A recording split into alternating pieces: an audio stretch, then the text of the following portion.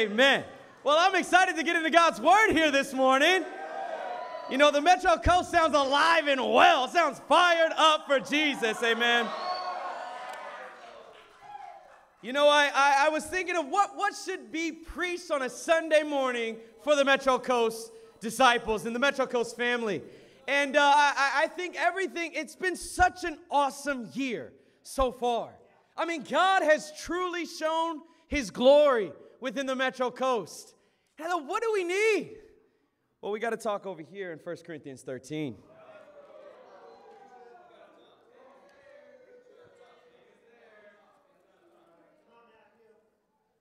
Good old time in the scriptures. 1 Corinthians 13. Let's get an amen when you guys get there. Amen. The run up to this is such an incredible passage as Paul is writing to the church in Corinth here. And as he's writing, he's just depicting in chapter 12 here how every part of the body matters. That you can't do away with certain parts just because they don't seem like they're as useful, and you can't, you know, you don't want to be part another part of the body that you were not fit to be. And then he goes in and describe the different roles and positions within the church. And he says, you know what? All these things are going to pass away. All these things won't matter. And we jump in here to chapter 13 and verse 1. He says, What matters most? And now I will show you the most excellent way. If I speak in the tongues of men and of angels, but have not love, I am only a resounding gong or a clanging cymbal. If I have the gift of prophecy and can fathom all mysteries and all knowledge, and if I have a faith that can move mountains, but have not love, I am nothing.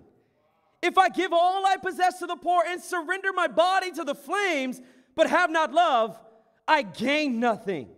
Love is patient. Love is kind. It does not envy. It does not boast. It is not proud. It is not rude. It is not self seeking. It is not easily angered. It keeps no record of wrongs.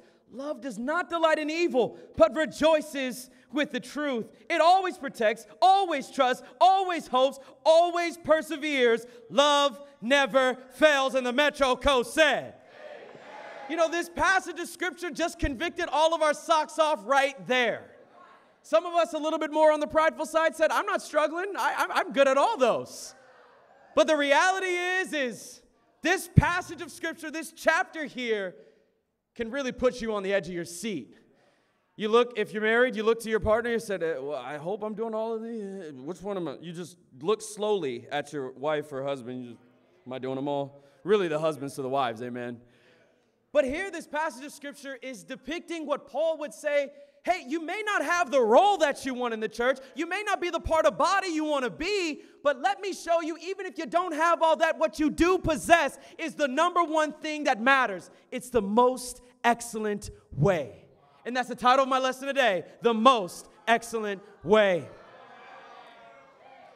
He says, if you don't possess that, if you don't have that, what you want, you don't, are not in the position you want to be in, let me tell you what you do have.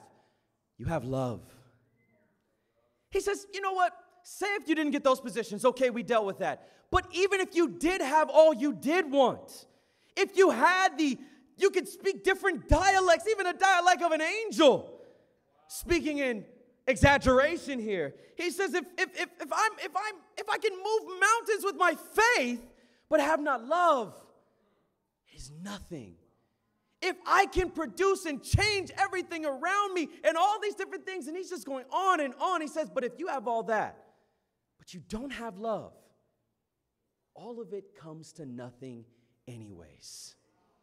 I think for us this morning, we need to talk about love. Such a sweet topic. Sounds so nice. Sounds so sweet. Sounds so soft. It's the most challenging thing in our lives. I got three points for us here this morning. Three things we've got to love if we want to make it in this life. We want to make it the next 77 days that are left in this year. What is it going to take? yes, 77 days. This year has flown by. But if we want to make it, we made it this far. If we want to make it all the way to the end, it's going to take us walking the most excellent way. Point number one first and foremost, we've got to love God. Look over here at Deuteronomy chapter 6.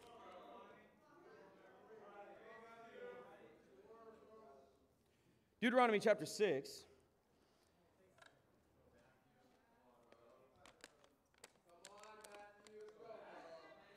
You guys there? Almost? Amen, Ole. All right. All right, Ole. We got you. We're just waiting on Ole, stalling for him, you know? That's how you love your brother right there. Amen. We'll talk about that later. Deuteronomy chapter 6.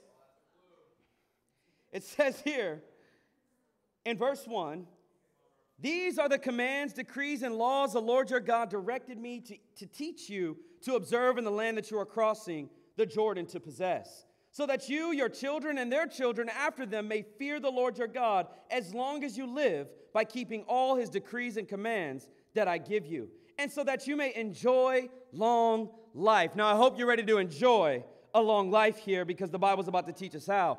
It says, Hear, O Israel, and be careful to obey so that it may go well with you and that you may increase greatly in a land flowing with milk and honey, just as the Lord your the Lord, the God of your fathers, promised you. Hear, O Israel, the Lord our God, the Lord is one. Love the Lord your God with all of your heart, with all of your soul, and with all of your strength. These commandments that I give you today are to be upon your hearts. Impress them on your children. Talk about them when you sit at home and when you walk along the road, when you lie down and when you get up. Tie them as symbols on your hands and bind them on your foreheads. Write them on the door frames of your houses and on your gates. You know, this passage of scripture is so powerful. As the book of Deuteronomy, we understand, is Moses' application of the law. And so, what he's trying to impress upon the people of God as they're preparing them and giving them the establishment and foundation so that when they enter the promised land, the land that was promised to their forefathers, they would not forget God in the process. They would not lose sight of what God wanted to do with them and the fact that He, Jehovah, is their God and that they would be His people. He says, Before I get into the commands, let me give you the top priority of being my people. He says, Love the Lord your God. He then describes how. He says, With all of your heart, with all of your soul, and with all of your strength. You know, the book of Deuteronomy, in fact, this very passage of scripture is referenced in Matthew 22 to talk about the greatest command as the religious leaders tried to test Jesus, which you just don't test Jesus. I mean, what, what are you thinking? But majority of the book, uh, of, the, of the Gospels, the references of scriptures are coming from the book of Deuteronomy.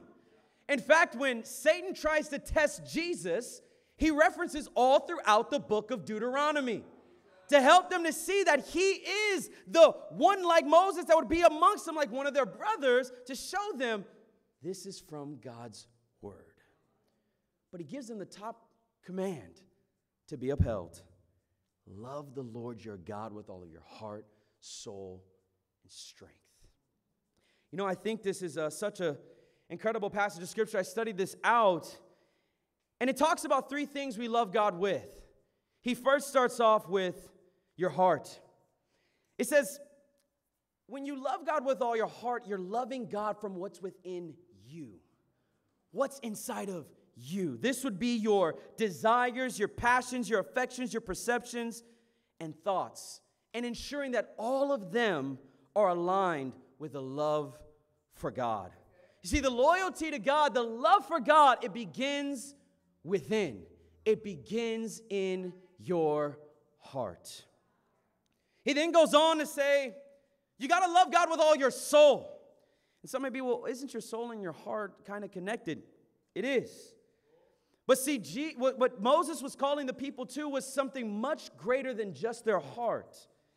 He was calling them to love God with their passions, with their hungers, with their perceptions and thoughts, but also how we talk, with our hands, what we do with our hands, our work, our walk, how we utilize our talents, how we react to different challenges, which is where we get the scriptures out of the overflow of the heart the mouth speaks.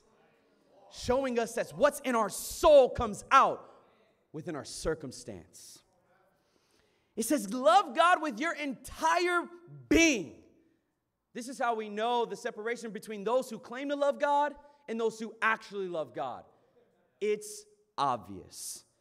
He then goes on to say, with all of your strength. The meaning here, different translations will say all your might, but this translation says all your strength. Now, might and strength are pretty synonymous here, but typically what this is utilized as is an adverb. It's the word very that it translates to. And it's used 298 times within the Old Testament. The noun version of this actually appears only one other time in the book of Deuteronomy. And here it's being described as very, it's the way God wants you to worship, God wants you to love Him. But He says here that you got to love God with your veriness. Is that what the scriptures say? With your very, what does it mean when it says your veriness? Well, different translations, if you translate this word to the Greek, it means power. If you translate it to the Aramaic, it means wealth. And so these are actually going into the same direction. It would be to worship God with all your resources, all that you have, all that you possess, everything you've got. So, what is God saying? Worship me, love me with all of your time, your talent, and your treasures. This describes what is called a crazy love. I mean, you gotta be a fanatic to love somebody in this way. I mean, here's the thing when you're in preschool, this is how you love because you don't know how to love any other ways. You know, people talk about cooties, but when, you, when you're just crazy in love with somebody, you want those cooties. You're like, man, I want the cooties of loving that person right there. And you want it. Don't, don't, laugh at me now. Laugh with me, please. Because I'm not on, I'm not alone in this, all right? But I understand that, and we understand that when you love somebody, when you really are devoted to somebody, there's nothing off the table. Everything is on the table. You know, sadly, we live in a world where we want to give our heart to things. We want to give our soul to a job. And we want to give our strength to what we think our future will be. And sadly, what has that produced in our world? It hasn't produced people that are so full up and so joyous and so happy. In fact, if we looked at the world and compared it to the purge and compared it to utopia, we would say they were closer to the purge than ever before. Why? Because people love things and use people. We are destroying the world with our very selfishness. And God's whole hope is He would give you this life. He would say, How should you use it? Love me and I will use it to the best of His ability. But in this world, we've seen the destruction of what is selfishness. You know, I so appreciate it. It was so inspiring. We had our incredible campus devotional this past Friday. It was so awesome. And I want to lift up the brothers that preach, and that's Christoph, that's Jacob, that's Yusuf, and that is JP, who's in the North Valley. That's why I didn't remember his name. Amen. But it was so awesome as Christoph preached, he gave this insight of this concept called Hellenism, which is something that Alexander the Great ushered in. He ushered in, and it was top four things it was education, it was healthcare, it was athletics, and it was sports. Oh, I said that already. Entertainment, that's what it was. Thank you, Ole. But he says here, as it teaches within that historical time, that people, instead of making God the center of their universe, just to let you know, us being Westerners, we don't understand that concept that God is the center. But in Eastern parts of the world, they already assume there's a relationship with God. For us in the Western world, we're trying to prove the existence and prove the relationship that we need it with God. But in the Eastern world, they, they flipped this upside down and made it more Western. They said instead of God being the center of the universe, you're the center of the universe. Everything revolves around you. Don't give your heart to God, keep it to yourself. Don't give your soul to God, give it to other people. Don't give your strength and offer it to be glorifying God, glorify your own name. This is now the world that we live in. So much so, not many people in this room are even batting an eye at that very concept. Why? Because the world has taught us that you got to get yours, that you've got to be the center because nobody else is going to take care of you. So much so, we've created these idolatrous concepts called go where you're celebrated, not where you're tolerated. We've created these concepts from this reality that, hey, I want to be the center, I want to be loved, I want to be taken care of. And we rivet all that attention away from God and we wonder why we're still empty. You know, I think that for us as disciples, we have to focus on the fact that what brought us here was us devoting to God in this way, falling in love with God in this way. You laid everything on the altar for God. Your heart, your soul, and your strength, nothing was pulled back.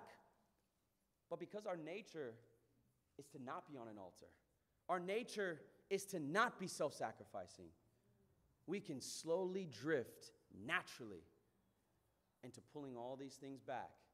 And instead of God being at the altar of our hearts, we have ourselves or something else that we desire. But I want to encourage us and challenge us in a great way that we need to be those that are crazy in love with God. Crazy in love. You know, I, I, I think it's so awesome when couples take the next step in their relationship and you really get to see them how in love they really are. And I'm so encouraged to be able to walk with Paco and Haley. It's so awesome.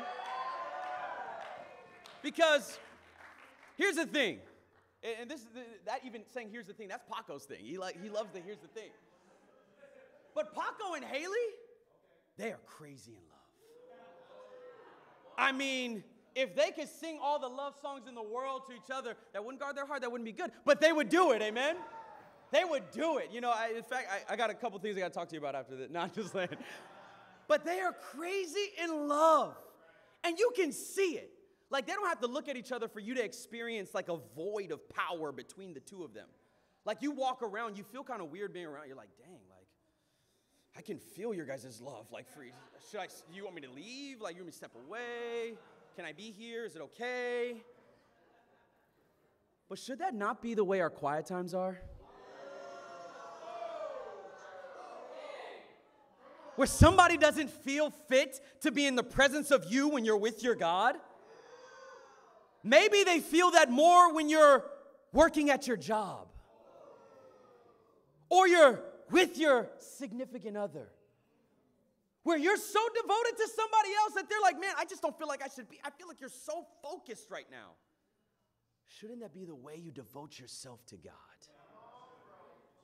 You know, we should have an anthem in our hearts when it comes to us loving God. And I like music, and uh, I, you know, I, I listen to music. Femi accuses me of not listening to music often, and he's right. I don't listen to it while I'm driving. But at the gym, I listen to music, amen? I didn't listen to this song, but I do love music. It's just to prove the point here. But there's this song that I think should describe our love for God. And that's by a famous artist. Her name is Beyonce.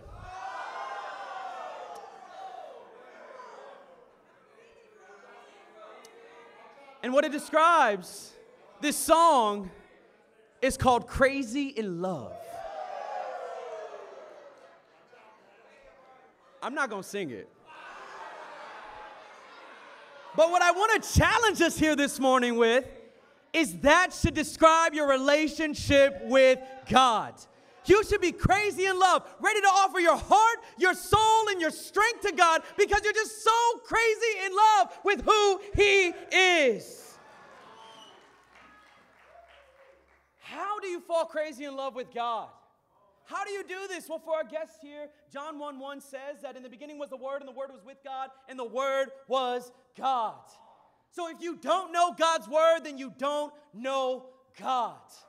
I want to challenge you if you've never sat down and studied the Bible, I'm begging you, come in here. It's really awesome because now my heart is not searching for something to fill it up with, that God sized hole, filling it with temporary things. My heart is filled I have the love of God residing in my heart. And I guarantee you, look at the person that invited you out, they'll tell you the same thing. So I want to encourage you study the Bible and figure out who is God. For the disciples, I want to challenge you. Same thing, John 1 1. Because it says when you are in God's word, you should be learning who God is, but not just about God. You see, I think we can learn the facts about somebody, but not really know who they are.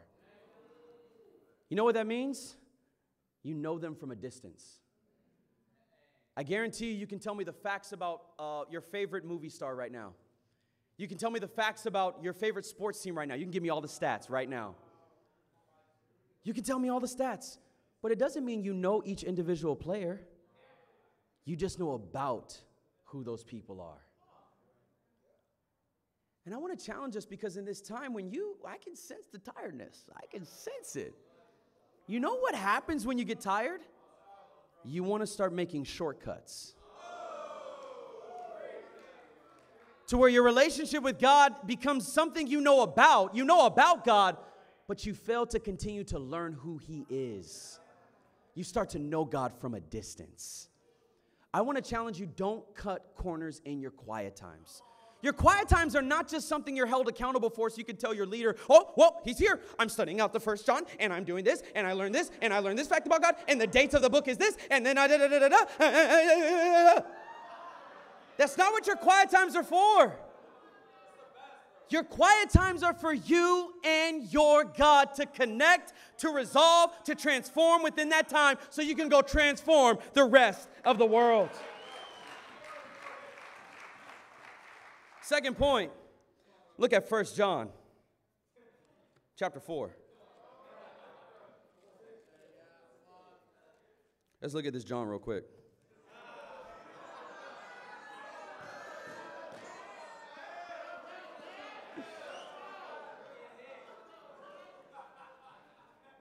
First John chapter 4. And just to give a little context about this book, this book was written to a group of disciples that were most likely in Asia Minor. And sadly, they were abandoned by a select group of high, prominent, very powerful leaders that decided, you know what? The flesh is evil. And so, you know what? God could not have possibly come down in the flesh because that's evil. And so, we're totally disbanding away from this church. We're done being a part of the fellowship of believers. It's kind of weird that they would create their, then create their own fellowship and they are still in the flesh. Pretty interesting backwards situation that we got going on here. But nevertheless, this is who it's written to. Because the, those who were left behind, John was writing to these disciples because they were so shaken up by the abandoning of these people. And so, what was his response? As it says in 1 John 2, he says, If they've gone out from you, it's because they never belonged to you. And so then he refutes how do you cope? How do you deal? How do you live in the midst of this very challenging existence? In 1 John 4 and verse 7, it says, Dear friends, let us love one another, for love comes from God. Everyone who loves has been born of God and knows God. Whoever does not love does not know God because God is love. This is how God showed his love among us. He sent his one and only Son into the world that we might live through him. This is love. Not that we loved God, but that He loved us and sent His Son as an atoning sacrifice for our sins. Dear friends, since God so loved us, we also ought to love one another. No one has ever seen God, but if we love one another, God lives in us and His love is made complete in us. My second point love each other. You know, this passage of scripture is so incredible because as we understand now who he's writing to and what he's fighting to accomplish them to see that, hey, in the midst of this challenge, in the midst of this strife, in the midst of the people that have abandoned the fellowship of God, don't worry. Focus on the one thing that matters. First off, Jesus Christ died for you to exemplify his love for us. And how do you then make that love complete in us? We love one another. And just as the Apostle John wrote the book of John 13, he also wrote John 13, 34 to 35. He says, A new command I give you love one another as I have loved you. So you must love one another. By this, everyone will know that you are my disciples if you love one another. What separates us from the religious world and the world that they were in around them because they still had the Pharisees and different religious teachers of the time? What separates us? We love one another. You're like, yeah, I tell everybody I love them all the time. That's not what he's talking about. This is not an eros type of romantic love. This is not a phileo type brotherly companionship. This is agape. We will lay down our lives for one another. You see, the scripture teaches here is what would make the kingdom the kingdom of God. It would be that each individual was not in for their own selfish gain, but they would be holy, set apart from the world. They would be totally devoted to one another, just as Christ was devoted to us. He says, What would be the evidence? You would lay down your life, sacrificial love, where it's no longer about you, but it's about what you could do for your brothers and sisters. You know, I think it's amazing, as uh, Mike preached a couple weeks ago about Matthew 25 and the separation of the sheep and the goats. We understand that what would separate the sheep and the goats, he then goes on to explain in verses 34 all the way through that there's going to be two different responses. Then when Jesus comes back, he's going to say, Hey, I'm going to look to a crowd and I'm going to look to those that are the goats. I'm going to say, Hey, when I needed this and I needed this and I needed that, you weren't there. And they're going to respond and say, What do you mean I wasn't there for you? What you didn't do for one of the least of these brothers of mine, you didn't do for me. And he's going to look to the sheep and he's going to say, Hey, you did this for me. You did this for me. You did this. You laid down your life. And they're going to be so shocked. And I love in that passage of scripture how it explains that they were so shocked. You know why they were shocked? Because it was just the way they lived. They didn't keep a tally of what they did for each other because it was just like oxygen. It was the way that they lived and breathed. And what does he say? He says, Whatever you've done for the least of these brothers and sisters of mine, you have done for me. You see, more and more as the Metro Coast continues to grow and we expand and we see numerical and geographical expansion, it's so awesome. But let us not lose the very foundation that has bonded us all together. We're family. We are actual family. If you're here with us this morning and you hear somebody say bro or sis, we're not just saying it because we're here in church. This is our actual family. But I want to challenge all of us here this morning to treat it like it is your real family. You know, I, uh, I think what can pull us back from being true family is fear. We can fear that we'll possibly be hurt by these relationships. We can fear that these relationships will be just like the relationships in the past. That they'll hurt us and there'll be no reconciliation, there'll be no just deep bitterness and turmoil within our hearts. That nothing will be different than the world. Why? Because you paint your future with your past. But here, what we learn from this is that things can be totally new within God's kingdom. But we fear because going to the depths and having a depth of relationships with somebody, it means you're totally vulnerable with them. It means you don't just know of them, you know who they are in their inmost being. They're in your life, not just your mentor, each brother and sister in the family of God. Everybody is so connected. But that produces a great fear when you've dealt with a lot of great pain. And I think that it's something I can relate to. I experienced a couple fears in my life. And um, I remember one time I was 10 years old, and I, um, I was at the beach with my mom's friends. And my mom wasn't there, she was at work. My mom worked a lot. But I was at the beach and I was swimming, it was awesome. We were at the beach, no floaties, you know what I'm saying? Like, bro, you know, no floaties, you know? Need, didn't need them. Um, but I walked out and I was in the ocean and it, it was, a, it was a, a, a, the tide pulled me in I didn't have this, I had feeble, feeble knees, you know? It swept me in, and the undertow flipped me, and I was just in the ocean, and I would get up, smacked by a wave, get back up, smacked by a wave.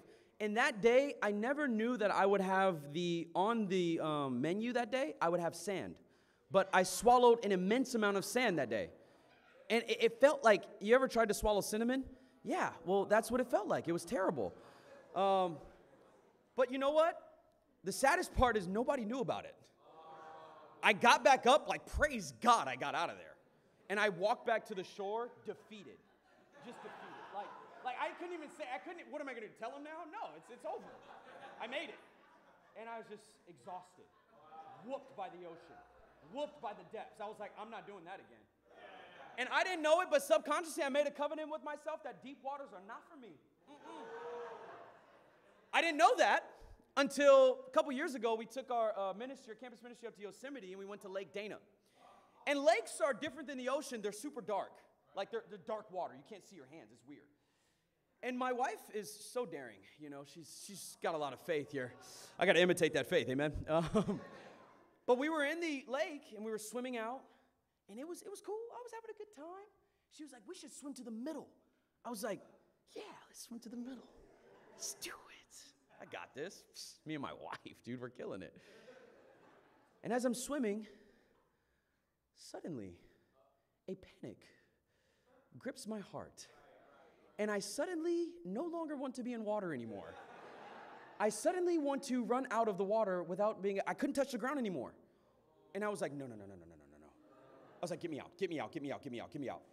And I got back and she was like, babe, what happened? Like, what was that? I don't know, I just, I'm not going back in.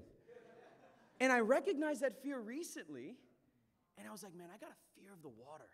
I got a fear of going deep into the water where I can't touch the ground where I'm totally out of control. So I confessed it, and I plan to face it. And so, me and Jim have been going out each Friday to the ocean and swimming in the ocean. But let me tell you, everything in me was reluctant to go back into the depths. Why? Because I only remember drowning. I only remember fear. I only remember the pain I experienced, the exhaustion. And it is the same way I see that disciples can be within relationships in the kingdom. That when you want to go back into deep relationships, the only thing you remember is the hurt. You remember the depth and the lack of control and the pain and the experience, and everything is being painted with your past experiences. And so instead of facing that fear, you're reluctant to even go back into the water and we fail to build deep relationships in the kingdom, and so we stay on the shore and we have shallow relationships. You see, here, John was trying to help them to see this is not the time to pull away from each other and get secluded. It's a time to bond with one another in an even deeper way. You see, I think that for us, we've got to challenge ourselves to not hold the brothers and sisters at an arm's distance. You know, there's a scripture in John 14, 8. It says, Why are you like a stranger in the land, like a traveler who stays only a night? And I want to challenge the young Christians. There's a lot of young Christians that got baptized. And it's awesome. Let's give it up for our young Christians here. But I want to challenge you don't be like a stranger in the land, like somebody who is only going to stay a short time. We can come into the kingdom and we're so freaked out by what people could possibly hurt us. Let me just let me just demystify for you. You're going to get hurt. But the difference between being hurt in the kingdom and being hurt in the world is in the kingdom we have, an, uh, we have a foundation of repentance and forgiveness. We actually reconcile with one another. But I want to challenge you anytime I study the Bible with any individual, I say, hey, the people that actually make it to the end are those that actually make the kingdom their real family. How much I benefited from having uncles and older brothers and older sisters in the faith. Like, I, I, found it that the closer I got to God's people, the more I learned about, wow, God accepted you. I can learn from you. You're different than me. Whoa, this is, and I learn and apply different things, and it's molded me into the man that I am. You see, the covenant you made with God is not just between you and God. The covenant you made with God is between you, God, and God's people. So, love for God is exemplified by this your love for one another, your depth of relationship with one another. For the older disciples, as John's writing to those that had abandoned the fellowship, and I, I don't think any of our older disciples are amazing. But what we can do is because we've been in the kingdom very long, we've seen many people come and go. We've seen people walk away, many people.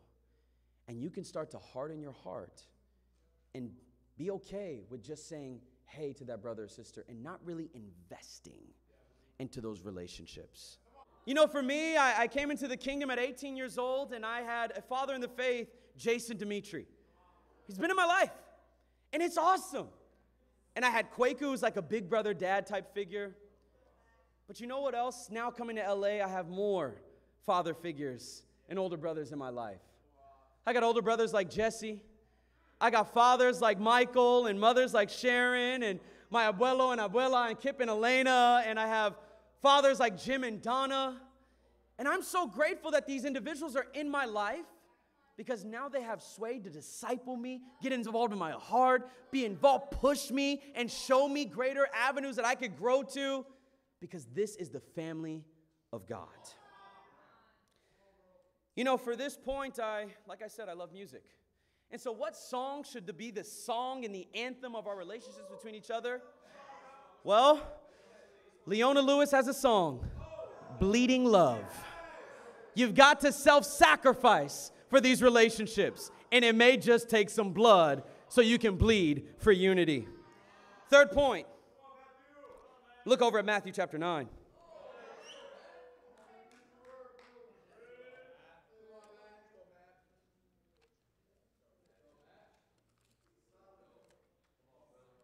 Matthew chapter 9 and verse 35 says Jesus went through all the towns and villages, teaching in their synagogues, preaching the good news of the kingdom and healing every disease and sickness. When he saw the crowds, he had compassion on them because they were harassed and helpless like sheep without a shepherd. Then he said to his disciples, The harvest is plentiful, but the workers are few. Ask the Lord of the harvest, therefore, to send out workers into his harvest field. You know, this is such a powerful passage of scripture as Jesus looks at the crowds and looks at all the known villages of the time.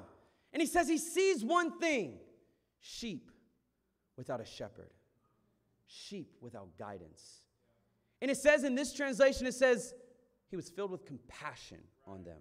In other translations, it actually says Jesus was moved with indignation. Move with indignation and move with compassion. How do these two reconcile? Well, Jesus was indignant towards the darkness of the world and compassionate towards the lost souls that were enduring that present darkness. You see, here, Jesus, his response to the level of slavery that he saw was one of brokenness for those lost souls. He says, like sheep without a shepherd. You ever seen sheep without a shepherd, without their shepherd present? You look up videos, it's incredible, it's, it's hilarious. See, what happens is there's this video, it's really, actually really funny. There's this wedge where this sheep and her and its hind legs are just like wiggling out. And it's got its butt out and it's got legs like shaking, trying to move. And then the shepherd comes over and pulls that sheep out. And then you know what happens? You'd think the sheep like gets the lesson. Like it's like, yeah, like, wow, thank you. It like runs and like prances. And then it like pops up like a bunny and jumps right back into the hole. Don't laugh, because that's us. All right? Because without Jesus being our guide, let me tell you what we do. We jump right back into the darkness. We're singing a song. We're not singing the songs of, of that need love for God. We're like, hello, darkness, my old friend. You're singing that song. But see, we are like sheep with a shepherd. And Jesus would call those that now have the shepherd to now look at the lost and be see them as they really are sheep without the very gift they've been given. See, it produced so much that this impacted this spirit of Jesus Christ. So impacted the church. He then caused the 12 to be this compassionate. But look how it affects arguably the greatest Christian in history. Look at 1 Corinthians 9. 1 Corinthians 9. And I love this in the 2011 version of the Bible. It actually in this section in verse 19, it says, Paul's use of his freedom, the freedom he had been given in Christ. How does he utilize it? It's going to be really interesting here. Verse 19 it says, Though I am free and belong to no man, I make myself a slave to everyone to win as many as possible. To the Jews, I became like a Jew to win the Jews. To those under the law, I became like one under the law, though I myself am not under the law, so as to win those under the law. To those not having the law, I became like one not having the law, though I am not free from God's law, but am under Christ's law, so as to win those not having the law. To the weak, I became weak to win the weak. I have become all things to all men, so that by all possible means I might save some. I do all this for the sake of the gospel, that I might share in its blessings. This is such a powerful heart that Paul exemplifies. He says, Though I've been freed from my shackles of slavery, I take my shackles that were just broken and I hand them to God and say, Use them as you please. I will devote my life not to just being that freed sheep that gets to just be the scapegoat and just run along and prance in the land. No, no, no, no, no, no. I'm going to turn back and fight to free as many as possible. I will contort myself. I will change my character. I will change my mind. I will change my heart if it means bringing one more soul in today. I will do whatever it takes. And I, I, I, write this point simply because this has been the heart of the Metro Coast. The Metro Coast has had a deep love for the lost. You tell me, with 97 baptisms so far, with eight restorations so far, with 48 place memberships so far, the Southland region started this year with 75 disciples. The Southland region now stands at 128 disciples. The West region started with 56 disciples, but now we stand at 85 sold out disciples. And what do the numbers mean? The numbers mean souls. Where would we be if we did not have Zechariah with us? Where would we be if we did not have Caden, who's in Oregon, about to baptize his mom? Where would we be without Brett over at LMU? Where would we be without Jordan at SMC? Where would we be without Karina at USC and Trey at USC?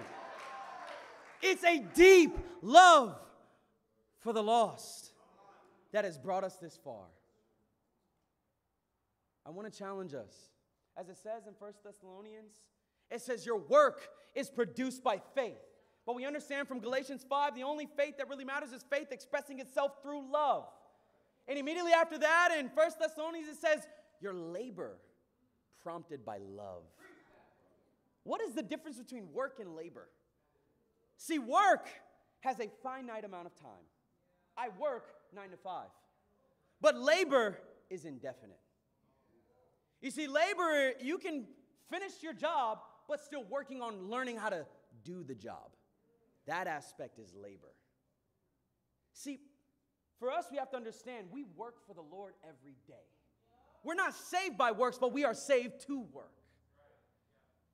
But we labor for the Lord until He comes back or till our life is no more. What produces that level of endurance? It's love. It's the decision to imitate our Lord and Savior Jesus Christ. That even when he was exhausted, he was poured out, he had nothing left to give, he still decided to go on anyways. It'd be that love that is the exemplifying of our love for the lost. You know, I'm so excited to see the next 77 days of this year. You know why? Because it's an opportunity for us to save 77 more souls. It's the opportunity for us to be closer to God 77 more days in this year. It's an opportunity for us to give our treasures 77 more times. It's our opportunity to offer all of our talents on the altar of God 77 more times. It's our opportunity to love the lost 77 more days. Why do we do this?